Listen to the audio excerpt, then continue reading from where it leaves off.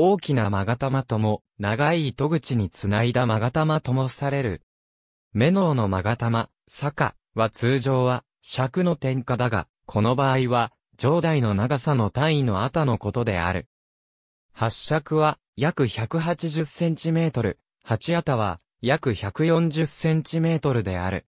この長さは、玉のシュートも、を含めた長さであるとも、言わえてある糸口の長さであるとも言う。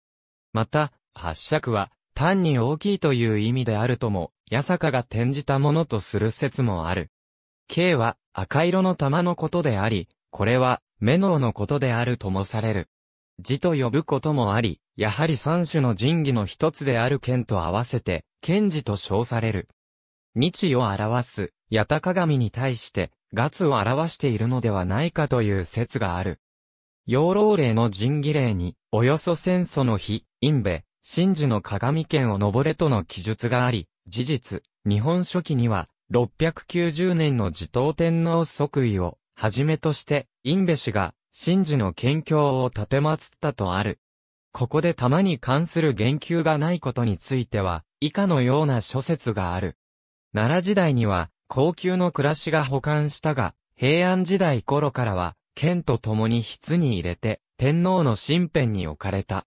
霊勢天皇は、精神病あるいは発達障害のため気候が多かったが、勾玉の箱を開けて、実物を確認しようとしたこともあった。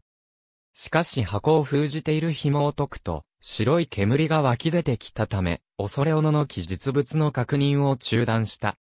また大江正房の談話録によれば、夜間、側近が、宮中からの休養と聞いて駆けつけ、女房に、天皇の居場所を問うと、霊勢天皇は、清涼殿の寝女におられて、たった今、安置してある魚事を包む紐を解いて、開くよう言われたと答えた。驚いて、天皇の部屋に押し入ると、本当に箱の紐を解いているところだったため、それを奪い取って元通りに結び直したという。平安時代末期の樹永4年3月24日、壇の浦の戦いで2位の2が、安徳天皇を抱き受水した時、玉、剣と共に沈んだ。しかし玉は箱に入っていたため、箱ごと浮かび上がり、源氏に回収された。あるいは、一度失われたものの、源頼朝の命を受けた漁師の岩松与蔵が、網で鏡と玉を引き上げたとも言う。室町時代の夏吉3年9月23日に、起こった金欠の変の際に、五南朝勢力によって、宝剣と共に、宮中から奪われ、宝剣は翌日発見されたが真珠は、大和国奥吉野へ持ち去られ、その後約15年間、五南朝勢力が保有した。長禄元年12月に、赤松市の維新らが、奥吉野の五南朝の暗宮を襲い、南朝の公院である、自天皇と中義王の兄弟を撃って、神事を持ち去ろうとしたが失敗。翌長禄2年3月末、赤松一心らは、自天皇の母の屋敷を襲い、神事を奪い去ることに成功した。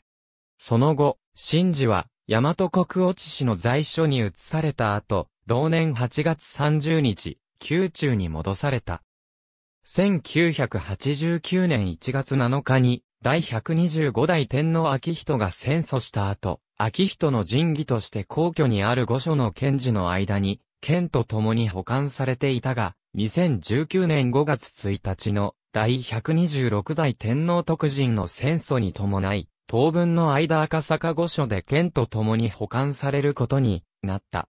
剣自動座に備えトヨタセンチュリーロイヤルの後部座席には、八坂に曲がたまと天村雲剣を安置するための台座が設置できるようになっている。